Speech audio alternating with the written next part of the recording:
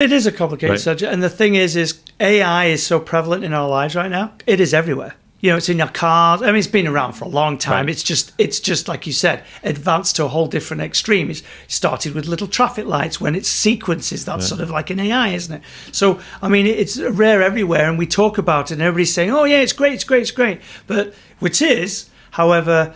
We do have to be protected from these things as well, just like the internet, the black web, and things like the dark web. Sorry, all things like this. Right. It's, it's all part of it. So I don't. Most people don't know that when you're driving your car, that the manufacturer, if you got a new car, manufacturer is collecting all that information One hundred percent. and and um, may use that information, may sell that information Yep. to insurance companies, to right, uh, and i- it's important that we allow for research, but it's also important that we protect our own privacy.